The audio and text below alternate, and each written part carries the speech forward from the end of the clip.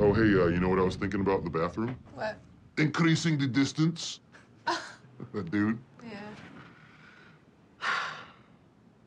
man, we really are going to increase the distance, aren't we? Let's hope we don't increase it permanently, like six feet underground. Hey, I made you something. Oh, yeah? Yep. What do you got? It's a stool backpack. Wow. So now you have a stool just in case you're anywhere where like a fight breaks out and there's no stools. Yeah, this is very cool. Here, help me get it on. Yeah. Huh? Oh. Wow, very comfy. Oh. and, uh, oh. Oh.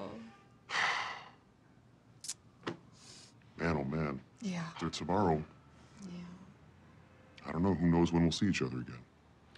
You know, maybe tonight we should uh, think about decreasing the distance between our crotch areas.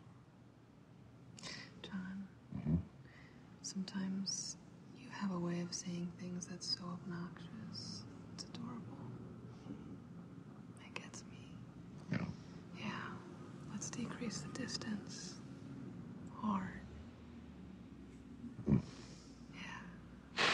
Yeah.